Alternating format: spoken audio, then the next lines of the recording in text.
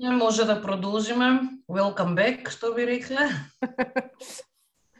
Продолжуваме понатаму. Продолжуваме понатаму. Останува вториот дел од денешното излагање кој што се однесува за подготовка на годиштвен извештај за работа на давателот на социјална услуга, оној фамозниот и да речеме најдискутабилниот.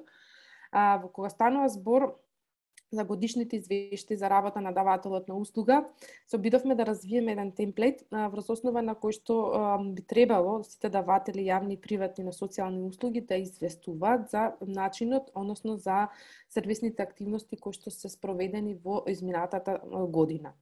Кога станува збор за годишниот извештај за работа на давателот на услуга, истиот би требало да се состои од неколку клучни точки, ќе на овој слайд можете да видите дека станува збор за 16 точки делови од тој годишен извештај за работа на давател на услугата. Нагласувам дека истиот е во согласност со развиениот образец или формулар за подготовка на програма за работа на давателот на социјалната услуга. Секако има новитети или своји засебни нови делови кои што не се во делот таа програма, меѓутоа доколку сметате дека истите се а, пре, премногу или се пре, ја пре, ќе ве преоптоварат во начинот на известување, истите може да се остранат или да се коригираат. А, истиот би требало да се состои од воведен дел, кадавање вовед во односно опис на самата услуга што опфаќа истата и така натака, работа на самиот давател на социјална услуга, опис на основните индикатори за успешност на работата. Ова се овие станува збор за основните индикатори за успешност, на пример во образецот или формуларот подготвен веќе за подготовка на програма го нема.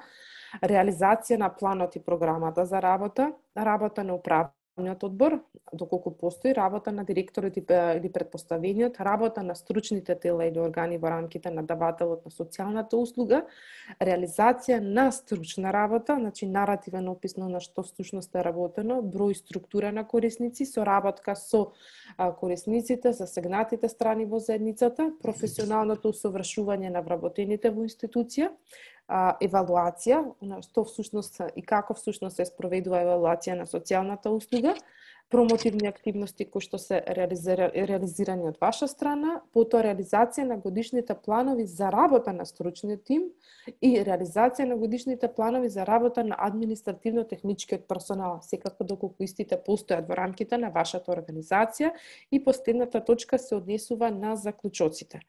Сега ќе можете, ќе ви го покажам сушност образецот и ќе дадам на, накратко објаснување на тоа што сушност се и како видни информации се внесуваат во секоја засебна точка.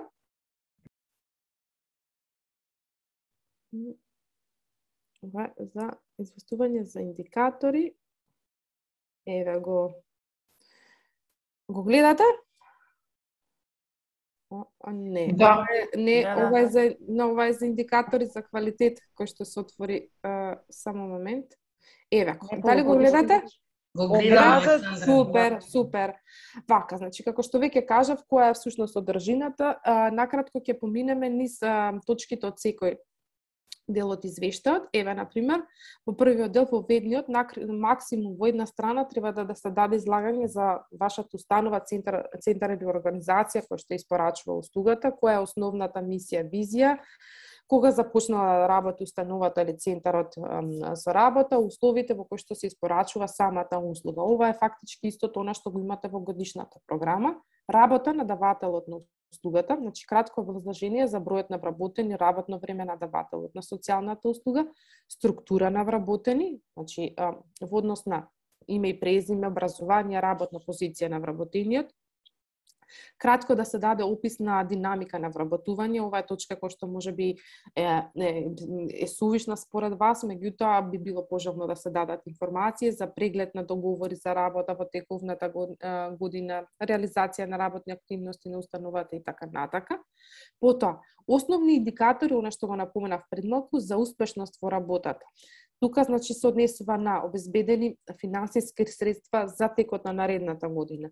А треба да се набројат видовите на финансиски извештаи кои што ги подготвуваме.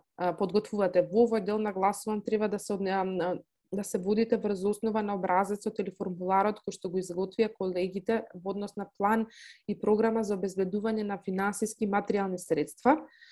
Истиот е одобрено од Комисијата за лиценцирање Потоа, да дадете образложение за стандардите и принципите за квалитет на социјалната услуга. Повторно имаме наративен опис, приказ на динамика на интерес на корисниците за користење на вашата услуга, кој е интересот, колку барањата за користење, колку сте добиле барање од страна за корисници за, на корисници за користење на услугата, колку сте успеале да одговорите на, устите, на истите, дали имаме листа на чекање за некои мидни корисници и така натака, прикасна динамика на вклучување на листа, на пример, на волонтери или други соработници во вашата организација и така натака. Потоа, точка 4 се однесува за реализација на планот и програмата за работа. Овде имаме да максимум истиот да биде две страници.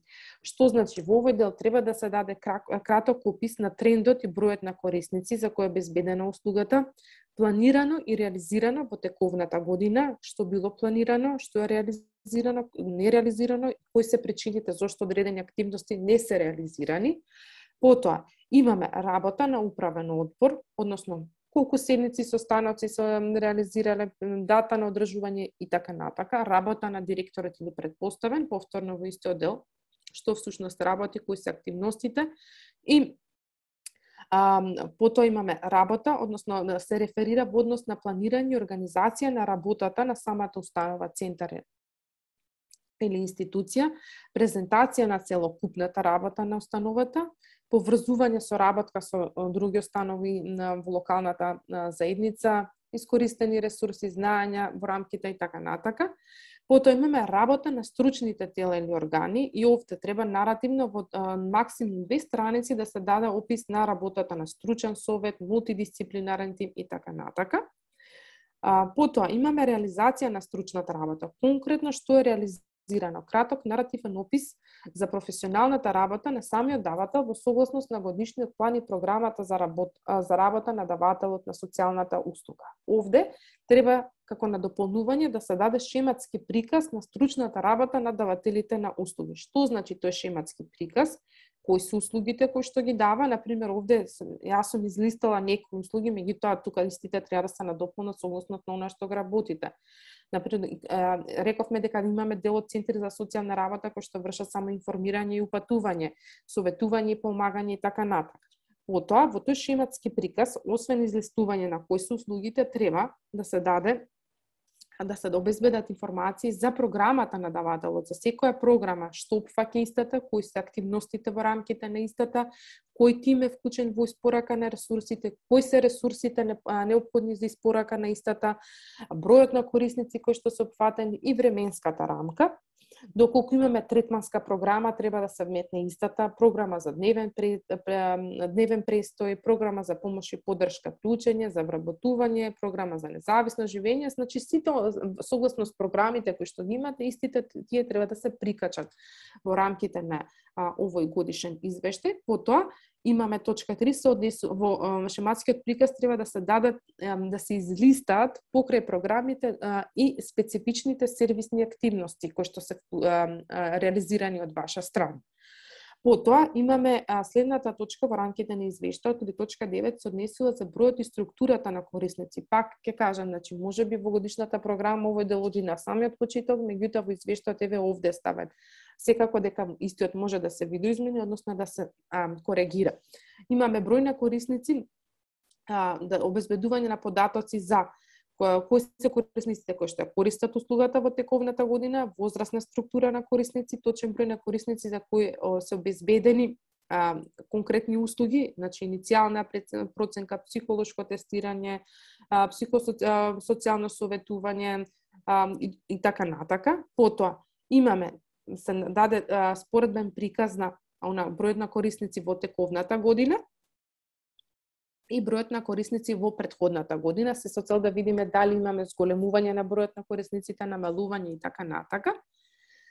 Преглед на корисници кои што се нови во теково, во, теко, за тековната година за која реферираме во споредба со предходната, опис на условите за корис, користење на соодветната услуга, опис за начинот за прием и користење на услугите, број на корисници за кои се изгодени, изготвени индивидуални планови за работа, број на корисници за кои се постигнале подобрување на целокупната благосостојба на корисникот, број на корисници, например, кои што се упатени на користење на други услуги и така натака. По точка 10 се дава краток опис за соработка со други засегнати страни во заедницата, со семејствата на корисниците и така натака. Точка 11 се однесува за стручно усовршување на вработените во рамките на давателот на социјалната услуга, каков вид на едукација е реализи, реализирано, тренинзи, конференции, конгреси, доколку е реализирана супервизија, дали имаме само внатрешна или надворешна и така натака. И следната точка од годишниот извештај треба да се однесува за евалуацијата, овде нагласувам дека имаме евалуација на корисник согласно индивидуалниот план, значи она што го работите со корисникот, потоа имаме само евалуација на вработените и волонтерите, имаме внатрешна евалуација согласно извештајот, значи што го презентиравме, во тој согласно на одите од евалуацијата која што ќе направите, истите треба во овој дел, во оваа секција да се додадат и спроведување на надворешната независна евалуација, ова, значи за оваа точка овде ќе известувате, односно ќе реферирате по три години, бидејќи надворешната независна евалуација се спроведува на секој три години. Значи, нема на секоја година во годишниот извештај да дават информации за истата, туку по изменување на тие три години, Точка 13 се однесува за промотивни активности, доколку вашата организација спроведува одредени промотивни активности, истите треба да се во две-три реченици да се елаборираат. Потоа, реализација на годишни планови за планови за работа на вработените. Значи, покрај тоа што реферирате за тоа што всушност е работено со корисниците, се дава, се, неопходно е да се даде краток осврт и на она за годишната работа на самиот вработен во институцијата. Тоа значи, ево, е, направивме за овој дел за тоа што всушност треба да се реферира за работата на вработените и на малата бела овде. Значи, кои се работ, работните задачи, план и број на корисници за кои што истата да е реализирана, дали станува збор со вработениот спроведува само индивидуална работа со корисникот, групна работа и така натака. Дали имаме ипак за вработениот е задолжен за спроведување на одредени тестирања само, дали корис... вработениот бил вклучен во одредени програми за специализација, наградување и така натака.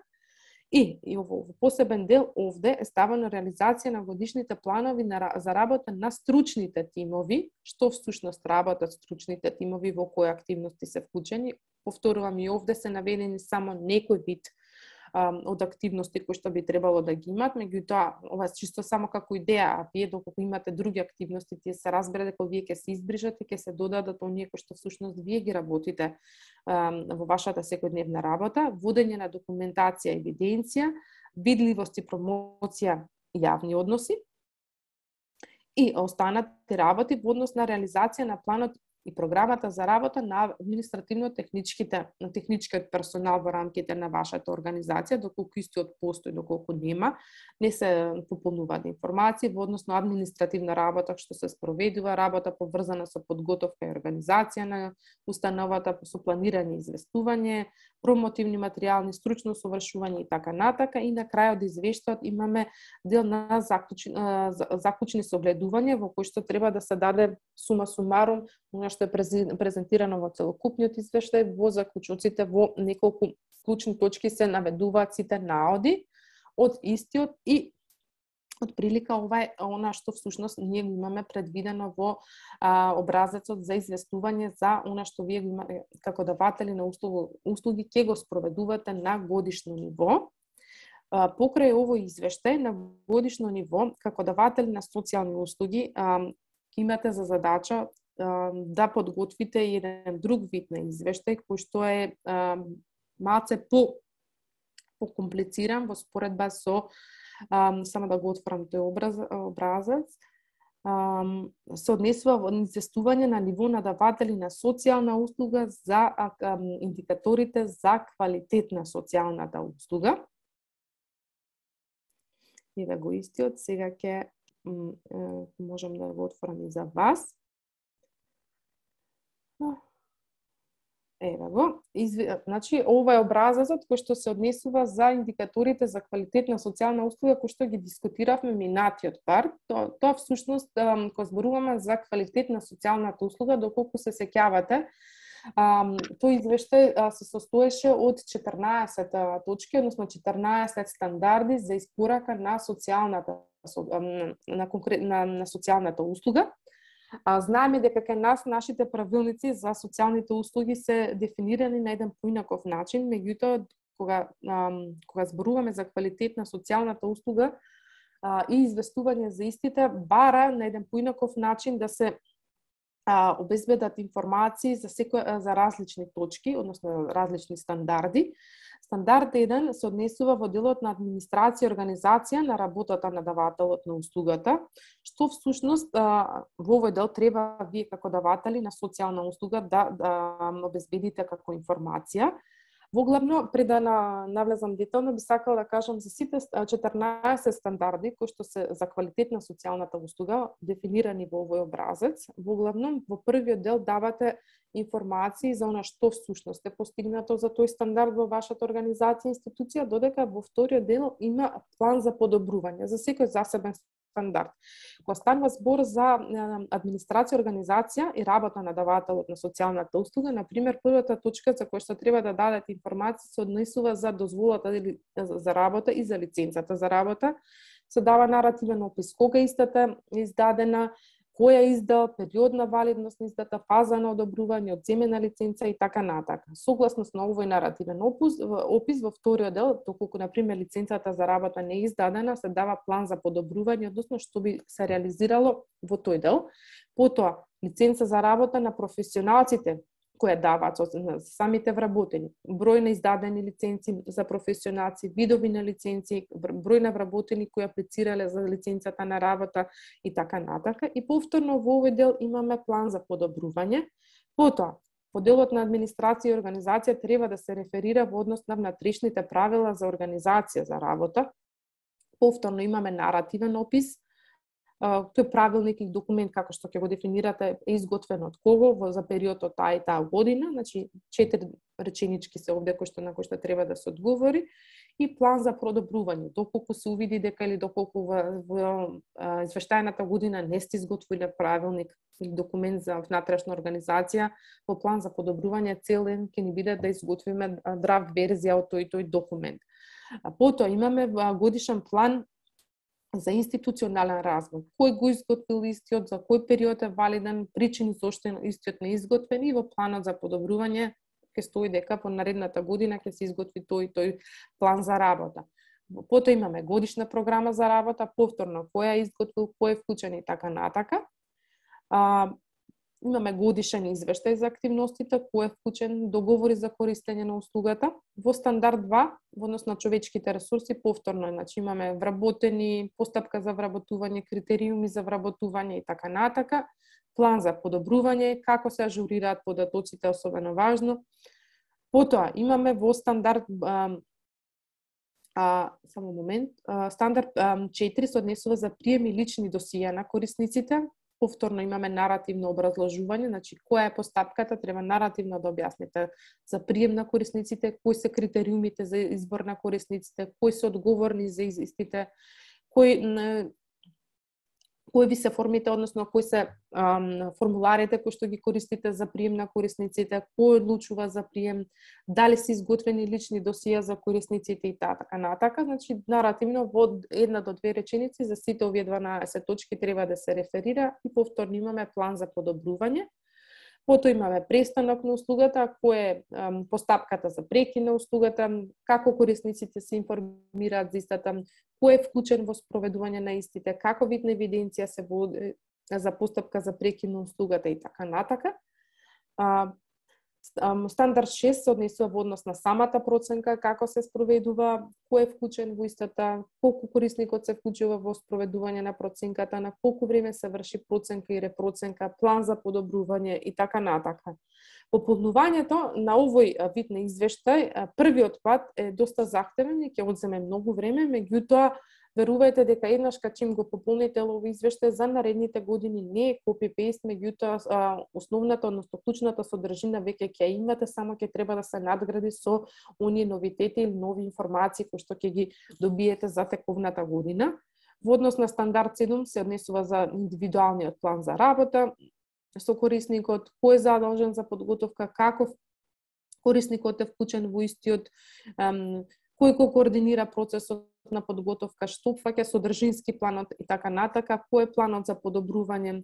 Стандард 9, еден од клучните стандарди, се однесува за сервисните активности, односно согласно индивидуалниот план за работа, кои се клучните сервисни активности кои што ги обезбедувате, што опфаќаат истите, за кого се наменети, како одлучува корисникот кои сервисни активности ќе се вклучи, како ќе како ќе се реализираат истите, кој е тимот на професионалците кои што ќе се вклучат во испорака на тие сервисни активности и така натака.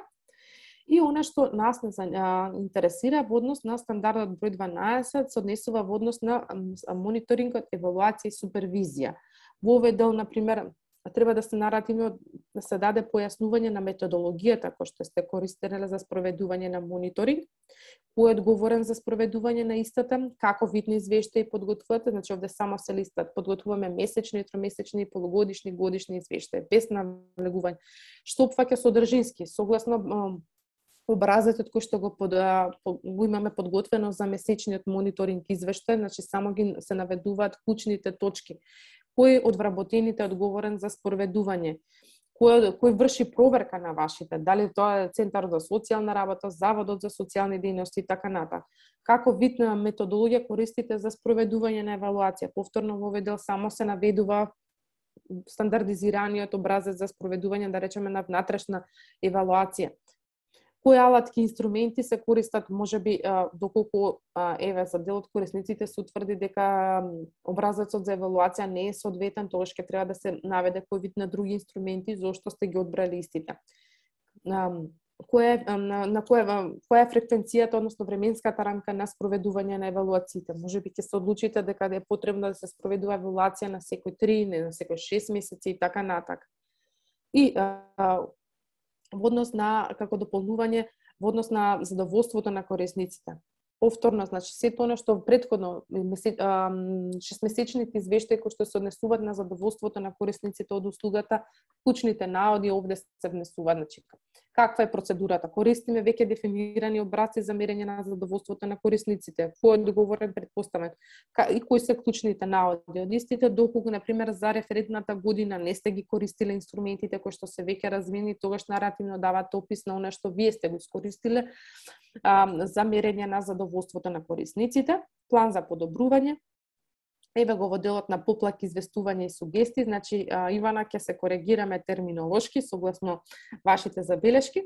А, значи, која е постапката како всушност кои корисниците се информирани или запознаени за можноста да поднесат поплака, сугестија, незадоволство од одредена услуга, кој е задолжен да за разгледување на истите поплаки, како на пример се како која е временската рамка за преземање конкретни решенија за а, пре, а, поплаките или незадоволството на корисниците од услугата и така натака. Воглавно ова е содржината на извештајот за известување за квалитет на социјалната услуга. Како што кажав, доста е обсежен, меѓутоа еднаш подготвен ќе ви помогне многу во работата, а поготово бидејќи на овој начин вршите само проценка на, на она што всушност е сработено од ваша страна и што всушност вие би сакале да се коригира за наредната година.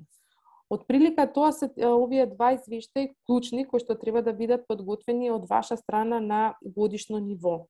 Она што ни преостанува е повторно да отидеме а, во групи да работиме, а согласно презентираните образци од моја страна а, за известување на годишно ниво и индикаторите за квалитет на социјална услуга, група 1 и 3 ќе имаат за задача да го разгледаат образецот повторно за известување на годишно ниво за работа на давателот на услуга и да дадете ваше видување за истиот, додека група 2 и 4 имаат за задача да го разгледаат другиот образец кој што се однесува за известување на ниво на давател на услуга за индикаторите за квалитет на социјалната услуга. Да, ние сме група 1, ќе реферирам во однос на она што можевме да продискутираме за годишниот извештај. Ќе се потребам да бидам што по-концизна. Едногласно се согласуваме дека ни е потребен унифициран образец а, за да реферираме за а, нашата работа, за работата на давателите на а, услугите на а, годишно а, ниво. А, исто така имаме постоечки пракси и треба да ги занемариме и сето тоа ќе биде добредојдено искуство во подготвување на ваков еден вид на образци.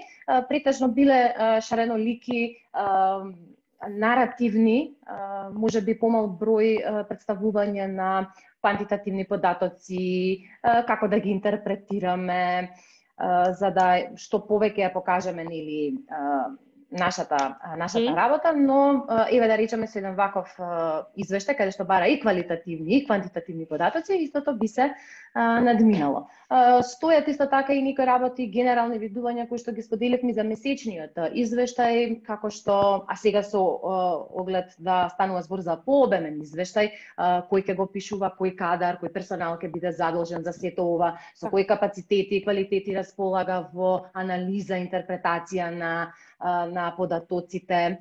Следи она што го спомнавме како упатство, мини обука за спроведување на истото за нас како група исто така го споделивме моментот да добро е веќе што е направена годишната програма за работа на давателите, бидејќи велиме дека преку годишниот извештај всушност согледуваме до кое ниво сме ги исполниле целите кои што сме ги замислиле во програмата.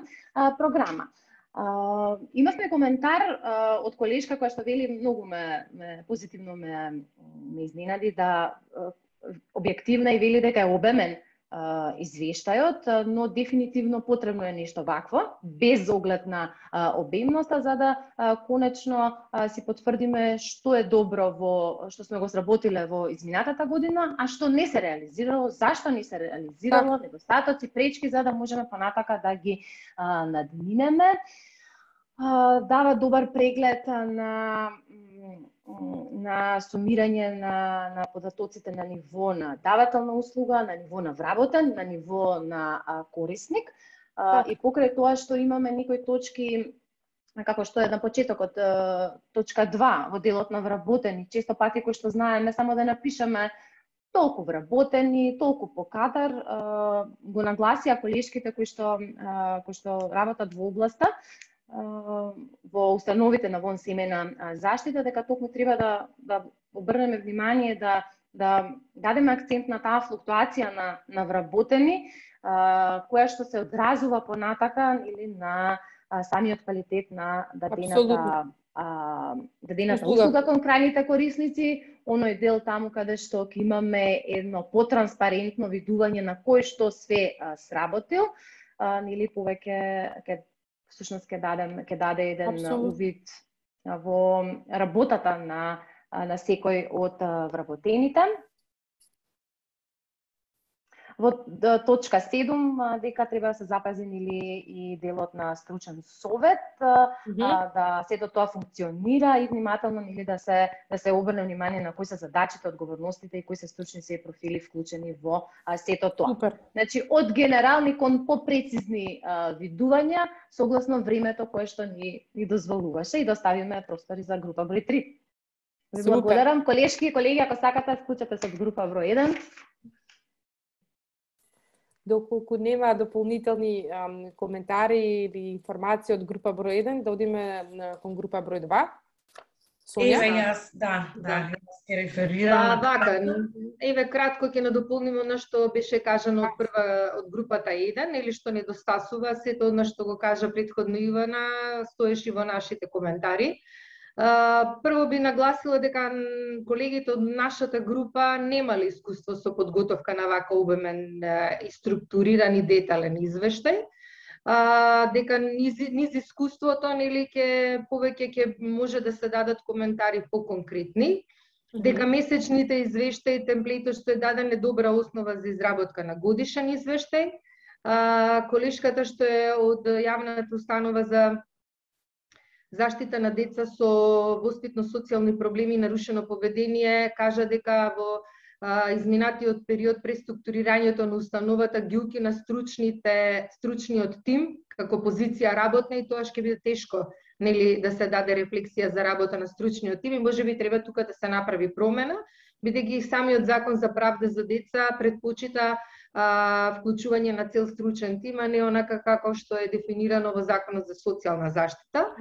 А, од друга страна, кажавме дека, потенциравме дека видливоста на овие годишни извештаи и предходните, без разлика дали биле направени според еден унифициран темплет или онака како што секоја секој давател на социјална услуга нели знаел индивидуално да се презентира, дека дефинитивно видливоста пред сите чинители е многу значаен фактор за да оние заклучоци, предлози, нели, за унапредување на квалитетот на услугата и на давателот на квалитетот на услугата биде биде биде како предуслов нели за да се обезбеди. Што значи така. тоа? Дека сите овие извештаи останале некаде скриени во не филки и во интернет мрежите едноставно нема јавна презентација пред релевантните институции и органи, од кои што зависат да кажем исполнување на одредени предлози што се дадени коментари во самиот извештај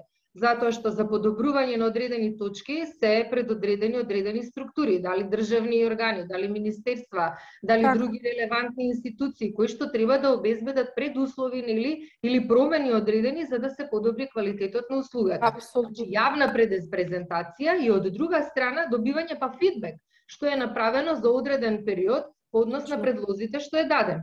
Например, секогаш тие се давани или во хартиена хардкопи верзија или се а, дадени електронски, но некако немаме јавна презентација, јав, видливост да, би, да имаат овие извештаи. И од друга страна, едно што го забележавме, што може би е добро да се вклучи како содржина во овој образец за а, годишни извештаи е работата на одборот на корисници. Апсолутно. Некаде нели во предходните така, да, така, така. во предходните а, модули го споменавме како тело во придавателите на услуги, како значајен елемент, како подигање на свеста на корисниците, давање на Така, така. квалитетот и така натаму, а за работата на тие одбори на корисници, па предходно треба добра припрема, нели? Тие да знаат за програмата на работа, за видот на услугата, бидат на истината. организација и така натаму, затоа што, на пример, еве ние имаме организациони единици. Така. А, дали тие ќе бидат на ниво на само организациона единица одбор на корисници или од таму еден ќе биде представник. Значи мора, мора да има нека организација, дали ќе биде правилник нивни за работа, Така, така. организација и така натаму, за да овој елемент го имаме во овој годишен извештај како многу значаен, нели да имаме рефлексијата на Точно. самите корисници и да Точно, имаме партиципативноста нивна. Ете Супер. тоа го забележавме вака можеби како позначаен, вака да кажеме елемент што треба да се надополни овој годишен извештај. И Одлично. една исто имавме забелешка од колешките кои што давателот на социјалната услуга, Невен центар за лица со пречки во развојот е во рамките на Центарот за социјална работа овој годишен извештај, ако биде толку обемен, квалитетен и квантитативен, доколку се вклопи во оној годишниот на Центарот за социјална работа, ќе се сведе на неколку реченички или можеби еден лист и ќе се изгуби неговата цела содржина. И повторно рековме дека тука треба да му дадеме акцент на презентација негова индивидуална, пред релевантни институции, организации, локална заедница и така натаму, за да има нели фидбек од сите други релевантни чинители кои што се вклучени во квалитетот на подигање на квалитетот на услугите. Тоа би било себе колегите ако имаат да надополнат. Фала ви. Благодарам многу Снежа. Дали некој друг од групата сака нешто дополнително да додаде? Доколку нема, одиме на група број 2. Так, Александра и јас, ние имавме група број 2 или обврска да го разгледаме и да размислуваме неко, нешто околу образецот за известување согласно индикаторите за квалитет на социјалната услуга. И бидејќи нашата група беше составена од представници од Завод за социјални дејности, од Центри за социјална работа, од Гневен центар за лица со попреченост, од организационите единици за поддржано живење Демир Капија и Супер. представник од СОС Детско село. Искуството од СОС Детско село како давател на, на услуга, независно од тоа дали сега тазе, да речеме, ја доби Така. лиценцата како лиценциран давател или предходно нели како препознаен давател на социјални услуги. Донка ни го сподели нејзиното размислување и нејзиното искуство, но во контекст на она најпрвин поставивме прашање кој е тој што ќе биде или кој тим е одговорен за изготвување на на Мгм. оваков извештај за квалитетот нели за индикаторот за индикаторите за квалитет на социјална услуга.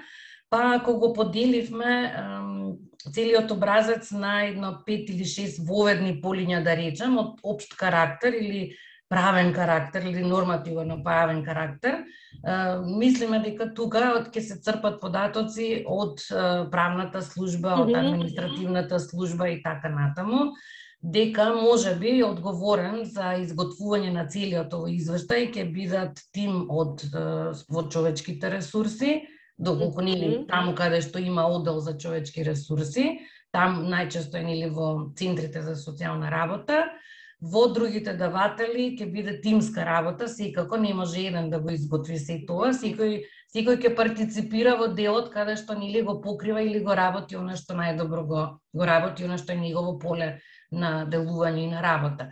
Па така и Донка го сподели искуството дека они како непосредни извршители го изготвуваат делот нели за конкретна работа со корисниците, ева беше спомнато проценка, репроценка, след Така. изготвување на индивидуален план, следење на планот, промени и така натаму. Подоцна го проследуваат до нивниот координатор и подоцна нели се спојува сето тоа во еден голем извештај, да речем, многу налик на она што беше претходно спомнато во годишниот извештај за работа, нели, на давател на услуга и го спојува или извештајот во го го, го сумира целиот во, во целиот извештај. А, Значи, во секој случај е потребен а, тим кој што ќе го изготвува ова исто така и од нивниот центар, искуството од нивниот центар од за лицата со попричност од Куманово одеше во таа насока дека представниците во нивниот центар си го изготвуваат извештајот во делот на нивната работа, значи конкретно со корисниците, следење фактички да ставиме знак на равенство помеѓу она што е план за годишна работа и она што е изготвено нели во, во, годи, во годината што изминала во извештајот за за годината, секако сега ќе може да се подобрат врз основа на овие индикатори што нели ги нудиме за квалитетот на социјалната услуга, ќе оставиме простор и можности и време да се испробаме во во сето ова, како ќе можеме да го изготвуваме овој извештај, како ќе ги следиме сите индикатори, како ќе го следиме квалитетот на социјалната на социјалните услуги. Представници од центрите за социјална работа само го искажаа нивното нивното искуство дека полесно и побрзо се доаѓа до податоци за корисници на паричните права затоа што го имаме спил програмот. Да. Нажалост, се уште не ни е развиена и програмот за евиденција на социјалните услуги, за да можеме нели лесно и во центрите да ги броиме тие социјални услуги, на тие што ги даваат, што се обезбедуваат во центар за социјална работа. Во предходните нели групи разговаравме и дека за можности и обврската и некој спомна нели кога ќе се изготвуваат и извештаи за од било кој тип нели за работа на давателите на социјални услуги и ќе се доставуваат до центрите за социјална работа кои што ги нарачале да речем тие Така. услуги тој давател, лесно ќе може нели да се мечираат, па и тие услуги да се следат и да се мониторира и квалитетот, бидејќи ќе го имаме веќе подготвен во извештај од давателот на социјалните услуги. Така да доставиме можности и време и опции и предизвик би рекла на сите даватели на социјални услуги кои што сега добиваат лиценци и се во системот на давање Така. услуги, да се испробаат во изготвување на вакви извештаи, во следење на овие индикатори и сето тоа понатаму да го изградиме нели во едни добри извештаи за да можеме да да ги подобруваме Апсолутно. подобруваме услугите. И повторно ќе споменам и ќе замолам да направиме една добра оптимизација, значи рационализација и оптимизација на сите документи, да не бидеме како оној во видниот слайд, службеникот затрпан со со о, со вакво па од многу од шумата да не го видиме дрвото како се вика. Да, да го заборавиме корисникот за кој што уствари нели и постоиме. Тоа е секогаш рак рана да речам на сите на сите вакви средби и на сите вакви работилници да се посветиме нели на конкретната работа со огромно е значењето на евидентирање и на документирање на на она што се прави затоа што само така го следиме но да подготвиме инструменти и, и техники кои што ќе бидат на вистина олеснување за прикажување на конкретната работа и за следење на истата. Апсолутно. Неколку, не, доколку некој од група 2 сака да се надоврзе во ова што до сега го говорев, повелата, Ако не, Александра, фала ти. А, доколку нема дополнителни излагања, јас би сакала само да, да, да кажам неколку работи. Всушност истите беа дискутирани во нашата група, во група број 4. А, доколку се сеќавате на предходните модули, пред се на модулот кој зборавме за институционалната поставеност за спроведување на мониторинг и евалуација, нагласивме дека А, целта не ни е постоечките кадри во рамките на давателите на социјални услуги, односно лицата кои што директно работат низ порака на социјалната услуга да бидат задолжени за подготовка на мониторинг и извештаите. Ефикасниот систем за мониторинг и евалуација пред се и што ние го предлагаме за воспоставување бара воспоставување на оддели за мониторинг и евалуација на сите нивоа, на ниво на даватели на социјални услуги, на ниво на, на центрите за социјална работа и во рамките на Министерството за труд и социјална политика.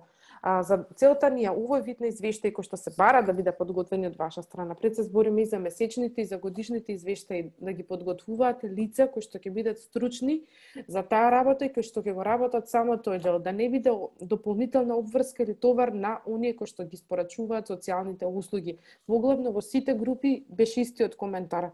Кој ќе биде задолжен за подготовка на овој вид извештај. Ми се допаѓа предлогот кој што доаѓа од СОС Детско село во делот на креирање на тимови за прибирање на податоците. А, само на таков начин да може да се дојде до еден соопфатен извештај, меѓутоа не секогаш креирање на тие тимови функционира и затоа е необходно да се воспостават оддели за мониторинг и евалуација на сите нивоа. Ке замолам сега од група број 4 а, Грозданка да презентира што всушност а, беше дискутирано во таа група, во нашата група во однос на после образецот за известување за индикаторите за квалитет на социјалната услуга. Благодарам Александра. И нашата група нели беше разнолика по тоа кој нели од каде доаѓа. Да. Меѓутоа морам да кажам дека сме група на ентузијасти и оптимисти за тоа што се задржавме само на позитивните страни од целиот овој процес, нели, од извештајот. А, генерален став на сите колеги беше дека нели давањето на овој извештај би било од корист нели за и за самиот давател, за корисникот, нели за колегите од центрите за социјална работа.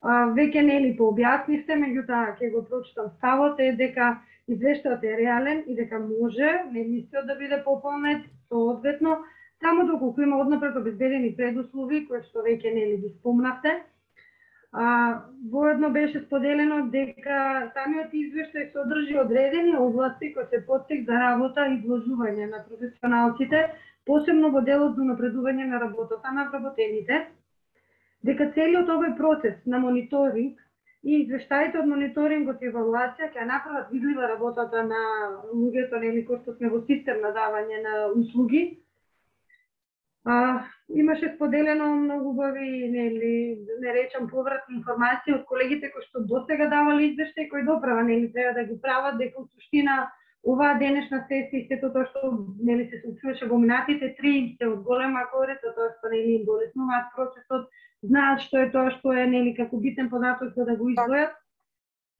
воедно имаше став дека со одредено прилагодување може да се искористи за давање на извештај за работата на центрите за социјална работа. Mm -hmm. И јас една препорака која веќе нели подолго време такав да ја споделам, а, кога зборуваме за лица кои што би го воделе нели процесот на мониторинг во и во министерство и во завод, во завод секако дека ова ќе биде исполнето, меѓутоа на ниво на центрите Сакам да препорачам ово да бидат клучни лица и професионалци кои што веќе работеле во давање на услуги, затоа што тие реално може да ја измерат, да ја измерат. Во касијата, нели, предходното образование не секогаш е доволно не прави сензитивни, сензибилни за тоа што се случува на терен. Мислам дека а, отварањето нови оделенија подразбира значи препознавање значи на професионалци во областта кои што реално ќе можат или тоа да го да го, како да кажам, измерат, видат, проверат, поредат се со цел нели овие извештаи на вистина да бидат серодат. Така. Благодарам, Александр, те молам пополни за тука нешто да дорав или другите колеги од групата. Како на дополнување мислам дека а, имавме од Нега плюс Хера кажа а, и од а, хуманост препреца од хуманост Елена нагласи дека како веќе како нов давател на услуга или како за незе како нова вработена овој вид на извештај ќе биде од особена на полза бидејќи е истиот е прегледен, конкретен, ќе и да овозможи на организиран начин да даде преглед на она што всушност е сработено во тековната година со конкретни насоки без лутања од еден од една во друга насока. Во принцип, сите учесници во оваа група го гледаат на извештајот како нешто што ќе им биде од корист, меѓутоа сите беа согласни дека треба праксата, низ праксата да се види колку истиот ќе даде со позитивни резултати или пак ќе истиот ќе претрпи одредени промени или прилагодување на, на одредени делови од самиот извештај. Во главно тоа беше дискутирано во група број 4.